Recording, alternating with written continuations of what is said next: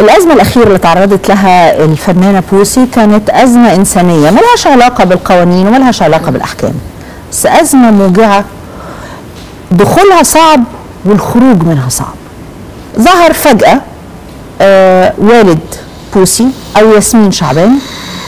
والدها طلع في برامج كتير وفي قنوات وفي مواقع وفي جرايد. بيقول بنتي بوسي ابن عاقة. ما بتصرفش عليا. أنا محتاج وبمد إيدي للناس تقريبا عشان العلاج وهي ما بتصرفش عليا. في جزء من كلامه بيقول إنه صحيح إن أنا ما قمتش برعايتها بشكل كبير لأني طلقت والدتها بس حقي عليها كأب إن هي تصرف عليا. بعد التصريحات الكتيرة القاسية دي وطبعا كان في حملة هجوم كبيرة جدا على الفنانة بوسي لأنه بطبيعتنا ما حدش يرضى ابدا بفكرة العقوق وما حدش يرضى ابدا بفكرة آه عدم رحمة الضعيف تحديدا لما يكون أب. مضطره بوسي إن هي ترد وتقول نسختها من الحكاية. إيه اللي حصل؟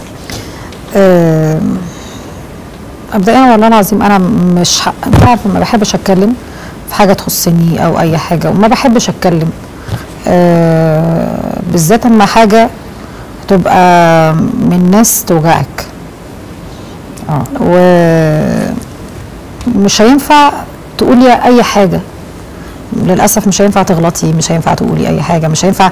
حتى لو جواكي نار مش هينفع تغلطي. عشان هو أبويا. في الأول في الآخر أبويا. بس عارفة اما بتبقى جايلك من أقرب الناس ليكي الضربة في ظهرك؟ وبالذات اما يبقى أبوكي ده جاي معاهم عليكي. ما عندكيش حاجة تقوليها. ما عندكيش كلمة تقوليها. يعني انت بتقولي انه احساسك انه الهجمة اللي حصلت عليكي من والدك كان غرضها حاجة تانية غير موضوع بنتي و- وانها وانها ما بتصرفش عليا؟ آه طبعا. ما هو ما هو يحاربوكي بإيه؟ يبينوا للناس إن انت بني ادمه مش كويسة. طب وليه ما تقوليش إن هو- هو إن هو فعلا كان محتاج مساعدتك وتسدد في وشه كل الأبواب آه، إن هو كان مضطر يناشدك؟ أنا لو بني آدم عاق ما كنتش هيبقى عندي 15 سنة وأنا اللي أطلب من أمي إن أنا أنزل أشتغل عشان أشيل من عنها الحمل ما يبقاش عندي 15 سنة لسه عيلة اللي قدي بياخدوا مصروف مصروف إيديهم من أبوهم أو من أمهم. أطلب من أمي إن أنا أنزل أشتغل عشان أشيل من عنها الحمل شوية. ولو فعلا آه، الكلام ده جديد. أنا اتكلمت في الموضوع ده من ساعة ما طلعت. أما بتسأل فعلا هو ده اللي حصل. أنا اتولدت أبويا مش موجود معايا في حياتي. مطلق أمي وهي حامل فيها شهرين. الكلام ده مش جديد الكلام ده اتقال في برامج كتير قوي. ولو الناس تاخد بالها أو الناس تركز شوية تتفرجوا على البرامج اللي قبل كده. ولو جت يعني ال- اللي جت سيرة والدي فيها هتلاقوا نفس الكلام. أنا ما غيرتش حاجة. أنا ما غيرتش كلامي ولا الكلام ده طلع جديد. صحيتي من النوم لقيتي الناس كلها عمالة تقول بوسي آه، راميه أهلها وما بتصرفش عليهم ومتمرمجة في الفلوس وفي النعم و وما وهم يعني مش لاقيين اللي يصرف عليهم. يعني آه، مش عارفة أقول لك إيه والله العظيم يعني عارفة بتبقى المشكلة إيه؟ يعني أنت أنت اتخضيتي أصلا. أنا؟ اتخضيت ليه؟ عشان ده انت لسه قبليها بيومين مكلمني وبعتلك فلوس. قبليها بيومين مكلمني وبعتلك فلوس ولسه كنت ابعت لك تاني.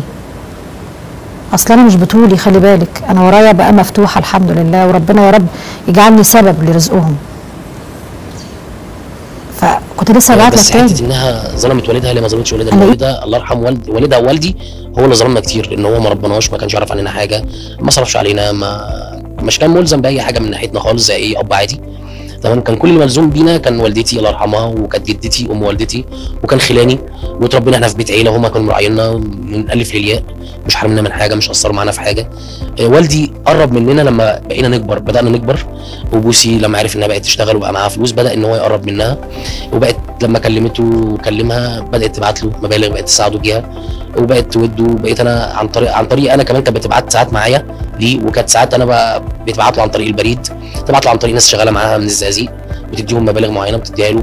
آه، مش هنقول شهريا هي كانت ممكن مثلا في الشهر مرتين ثلاثة تبعت له مبالغ. آه.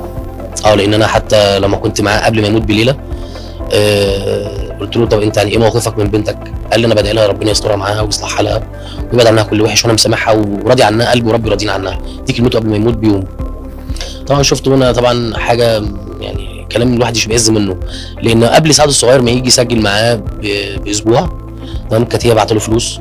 وظهر طبعا آه، بعد التسجيل قبل التسجيل بيوم كانت هي بعت له فلوس. والمفروض إن هي تاني يوم كانت هتبعت له فلوس تاني عشان خاطر يكمل العملية بتاعت عينه إن هو كان عملية في عين واحدة.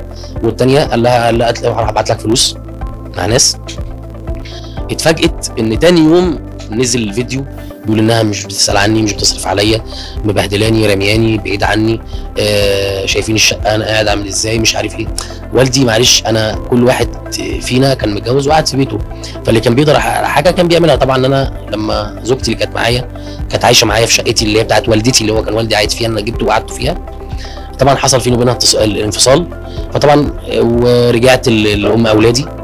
وقعدت معاها. فطبعا كنت بروح اراعيه من وقت للتاني. إخواتي الكبار طبعا بحكم سنهم أكبر مني. في منهم اللي عندهم تعبانين شوية عندهم أطفال كتير وراهم مسؤوليات ومشغوليات. فاللي كان بيقدر على حاجة بيروح يعملها له. أنا برد على تعليقات ناس إنها اتهمت أختي بالجحود وعدم المراعية وإنها قصرت في حق والدها. تمام لا هي ما قصرتش في حق والدي ولا أنا قصرت في حق والدي ولا إخواتي قصروا في حق والدي. أنا مش يعني مش هقول مثلا إن أنا خزيان إن أنا أقول الكلام ده لأ ده فعلا وبوقائع وب... وناس معارفنا وقرايبنا وجيراننا وأصحاب والدي عارفين الكلام ده. آه هو ما كانش بس زي ما قلت لحضرتك ما كانش بيسأل علينا. أنا اللي بقيت أسأل عليه وإحنا بقينا نسأل عليه وبقينا نوده مش بقينا سايبينه. تمام؟ بكل المقاييس ومن ناحيتي ومن ناحية إخواتي ومن ناحية أختي الصغيرة بوسي إحنا ما سيبناهوش. لكن إحنا لقينا مقابل الود جفا أنا مش بقول إن أنا بدم في حق والدي الله يرحمه بس برد على كلام ناس قالت إن هي عندها جحود من ناحية والدها عندها ما فيش عندها اهتمام من ناحيته ما بتصرفش عليه رمياه املاه مع إنها في مستواها الاجتماعي المفروض تعيش والدها في أحسن مكان لأ. أنا كنت مقعده في شقتي اللي هي شقة والدتي تمام؟ ما قصرناش معاه في أي حاجة. والدي الله يرحمه لحد قبل ما يموت راضي عننا كلنا وداعي لنا كلنا إن إحنا ما قصرناش معاه. سواء كان سعد اتوجد أو ما اتوجدش. لكن راضي راضي لأن طبعا ال- الناس اللي اتكلمت دي متعاطفة مع زوجة أو أرملة فاطين تمام؟ بحكم إن هي ما شافوش ال- ال- ال- ال- التفاصيل بتاعت الأحداث كلها هم شايفين طبعا الظاهر قدامهم إن هو اتسجن وإن هو طلع وقال وأخته طلعت قالت إن هي إن هو مسجون هي اللي سجنته وهي اللي فقت له ال- ال- القضية وهي اللي حطت له دست له محتويات القضية في المخدرات والأسلحة في في البيت. طبعا كل ده منافي للصحة خالص مالوش أساس من الصحة. آه، من ناحية إنها اتظلمت فاتظلمت كتير. أختي اتظلمت من زمان. بالأخص من يوم ما اتجوزت الله يرحمه فاطمة. الله يرحمه. آه، ظلمها كتير. ظلمها كتير. آه، اولا بوسي هي لما ما حضرتش وفاة والدها ما عرفتش طبعا أنا كنت بعت لها رسائل أو اتصلت عليها ان إن والدي توفى والدي توفى والبقاء لله. طبعا كان تليفونها مقفول إنها كانت تعبانة وما كانتش موجودة فما عرفتش اتواصل معاها. واتفاجئت بعدها بيومين بترد عليا بابا مات إمتى؟ قلت لها مات أول امبارح. بس أنا ما عرفتش أتواصل معاكي. طبعا آه، لا كنت أنا أنا كنت في شغلي بره القاهرة. تمام؟ واتفاجئت برضو بموت والدي. يعني حضرتك برضه ما حضرتش لا لا لا حضرت ال- الدفنه طبعا وحضرت ال- العزا كامل وأنا عملت العزا عند بيتي. تمام؟ بس حتة إن أنا أعرف تمام لا بس هي ما كانتش موجودة في القاهرة. هي ما كانتش موجودة في القاهرة. هي كانت خارج القاهرة. تمام؟ فما حاولت ما حاولت إن أنا أعرف أتواصل معاها ما فيش صلة اتصال. تمام؟ يعني عشان اعرفها ان والدها توفى وعرفت بعدها بيومين وكلمتني وجات لي البيت. طبعا أقدر أقول لها إن ربنا يكرمها ويصلح حالها ويبعد عنها كل حاجة وحشة يا رب ويكرمها ويفك أسر جوزها اللي هو الأستاذ هشام ربيع راجل محترم. آه، اتعمل له المشكلة اللي هو فيها الأخرانية دي بدون وجه حق وناس اتهمته بالباطل. ودلوقتي بيقول إن بوسي ادمها أدم شؤم على والدها وعلى جوزها وعلى طليقها. لا هو ربنا بيجيب لها حقها. بس موضوع جوزها الأخراني هو اتظلم فيه واللي عشان خاطر طبعا حضرتك مع عارف إن إجازة القضاء تبقى شهر يوليو وشهر أغسطس. فطبعا ال- القضية كانت مح... يعني هو متعلق على حس القضية لحد ما يتبت فيها جلسة ويتنطق بها بالحكم. وإن شاء واضح. احتمال يكون والدتك ايا كانت أسباب الخلاف بينها وبين والدك هي اللي, منعته إنه يمكن كان عايز يعطف عليكم ويش- ويتواصل معاكم والأم رفضت. ما ما أظنش. يعني أنت لو عايز تشوفنا هتشوفنا غصب عنها. اللي عايز بيشوف عياله وضناه هيشوفهم. حتى لو بالعافية. مفيش خالص. ما حصلش ده.